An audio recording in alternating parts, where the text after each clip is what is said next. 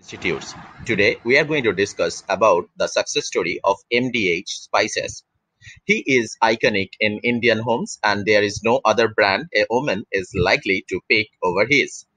He does not look fancy but his presence on the advertisement is enough for the people to buy his product.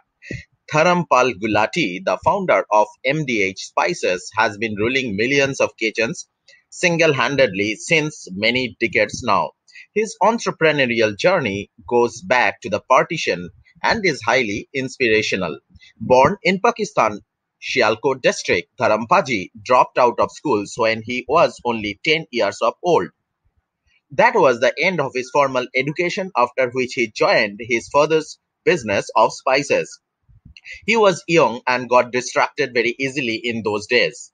He wanted to try his hand in other businesses and got into the business of selling soaps as it was a new concept in the late 1930s. After this, he made frequent jumps and tried his hand at cloth businesses and also become a rice merchant. It is surprising to know that the man who built such a huge empire also took up a job in his youth days. The Partition Saga None of these businesses could hold him for a long time and he decided to take an active role in his father's business. He was beginning to settle, but a bigger tragedy had struck lives of millions. It was 1947, and he came to know that his birthland, Sialkot, will now be a part of Pakistan. He joined hundreds of Sikhs and Hindus who were fleeing to India and reached Amritsar three weeks after the nations had been declared independent on September 7, 1947. After a few days in Amritsar refugee camp, he moved to Delhi as he knew living would be cheaper there. Before leaving Pakistan, his father had entrusted him with rupees 1500, some of which he used to buy a tanga, a horse cart, and began changing, uh, charging two annas, that is one sixteenth of a rupee, to ferry passengers from Connaught Place to Bagh. These were the days of the extreme poverty, and despite calling out uh, for customers for the entire day, Dharampaji could not take enough money to home.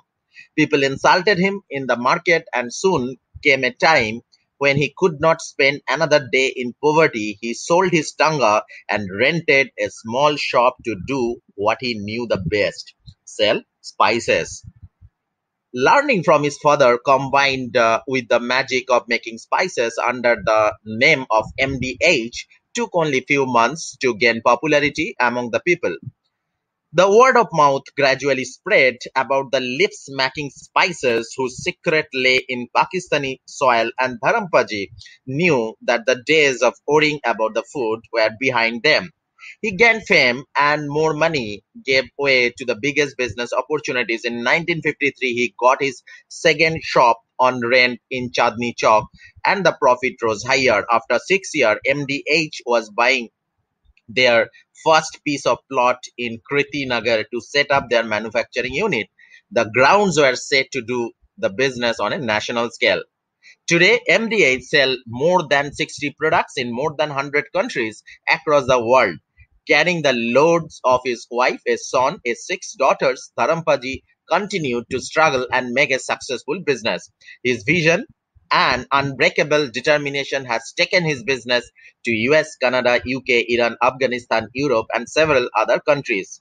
Because of years of hard work, MDH is now a 1500 crore company and Dharampal Gulati has become the highest paid under consumer product CEO who took home rupees 21 crore last fiscal, he left behind tycoons like Adi Godrej and the Vivek Gambhir of Godrej Consumer, Sanjeev Mehta of Hindustan Lever and ITC's YC Deveshwar.